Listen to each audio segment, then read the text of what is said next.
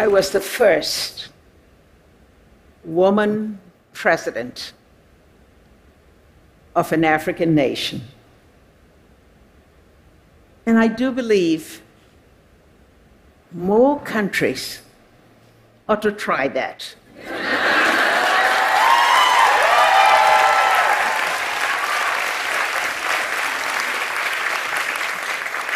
Once the glass ceiling has been broken, it can never be put back together. However, one would try to do that. When I assumed the presidency of Liberia in January 2006, we faced the tremendous challenges of a post conflict nation collapsed economy, destroyed infrastructure, dysfunctional institutions, enormous debt, bloated civil service. We also faced the challenges of those left behind, the primary victims of all civil wars women and children. On my first day in office, I was excited and I was exhausted. It had been a very long climb to where I was.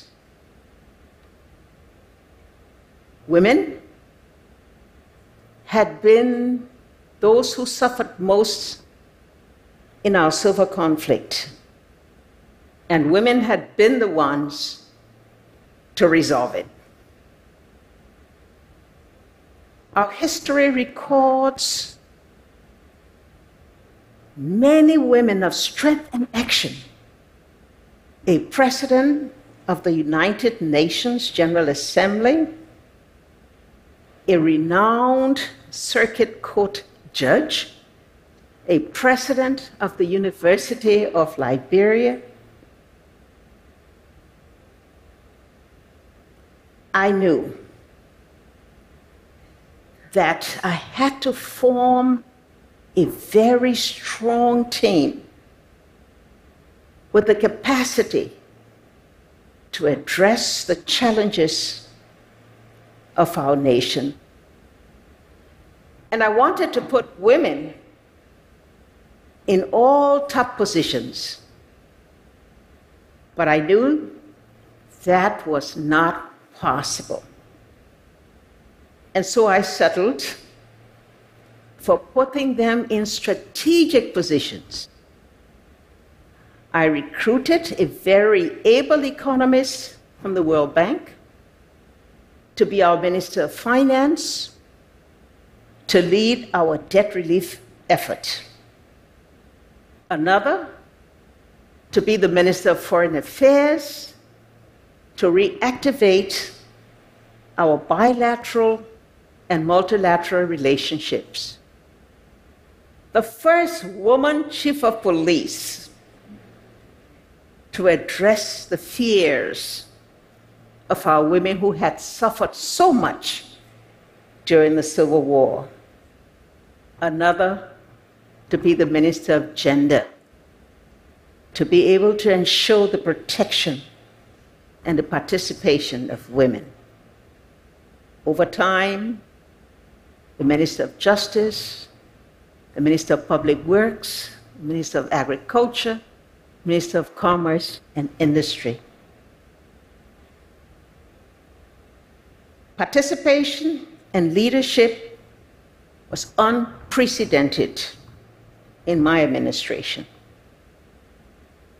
And although I knew that there were not enough women with the experience to form an all women cabinet as I wanted, I settled to appoint numerous women in junior ministerial positions as executives, as administrators, in local government, in diplomatic service, in the judiciary, in public institutions. It worked. At the end of 2012, our economic growth had peaked at 9%. Our infrastructure were being reconstructed at a very fast pace. Our institutions were functioning again.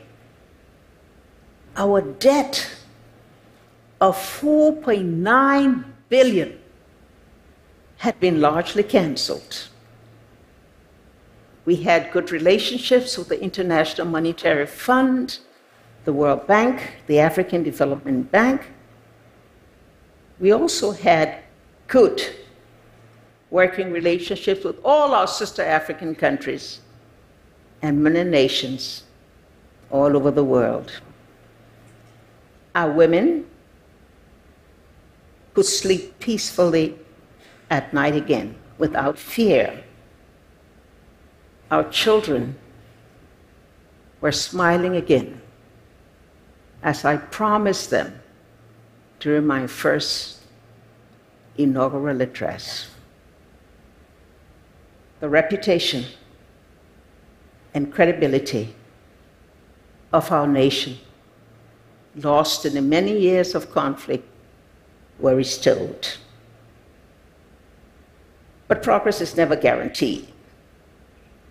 And in our legislature, in my first term, women were 14%. In the second term, it declined to 8% because the environment was increasingly toxic. I had my fair shares of criticism and toxicity. Nobody is perfect. But there's nothing more predictable than a strong woman who wants to change things, who's brave to speak out, who's bold in action. But I'm okay with the criticism. I know why I made the decisions I made, and I'm happy uh, with the results. But that's why more women leaders are needed. For there will always be those who will tear us down, who will tear us apart, because they want the status quo to remain. Although sub Saharan Africa has had major breakthroughs in women leadership and participation, particularly in the legislature, in parliament, as it's called. So many women, 50% and over, one of our nation, well over 60%, the best in the world. But we know that's not enough. While we must be very thankful and applaud the progress we have made, we know that there is much more work to be done. The work will have to address the lingering vestiges of structural something against women.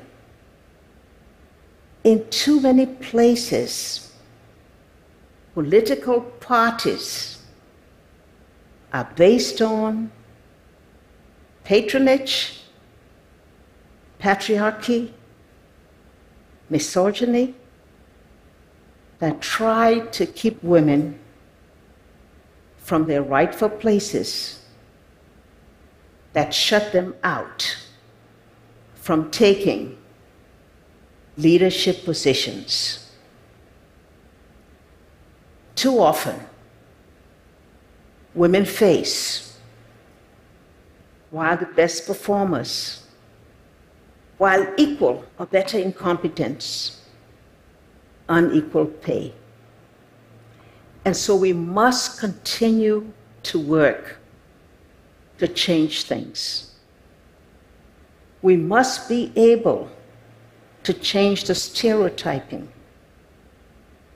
We must be able to ensure that those structural barriers that have kept women from being able to have the equity they rightfully deserve.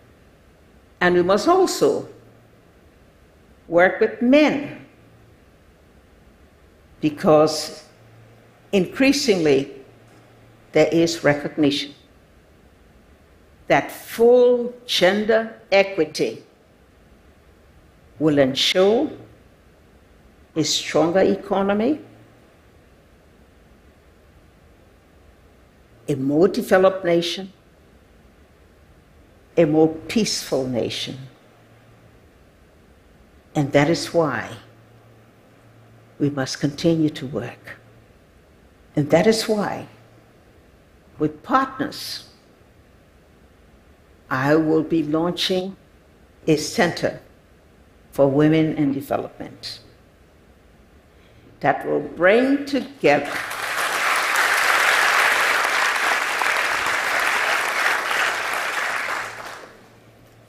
women who have started and are committed to their joining of leadership, with women who have excelled and advanced in leadership together over a 10 year period we strongly believe that we will create this wave of women who are prepared to take unabashedly intentional leader and influence throughout the society.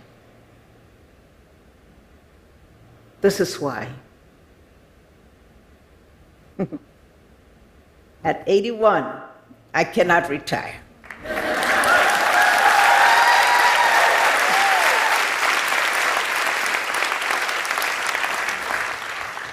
Women are working for change in Africa. Women are working for change throughout the world. I will be with them and one of them forever.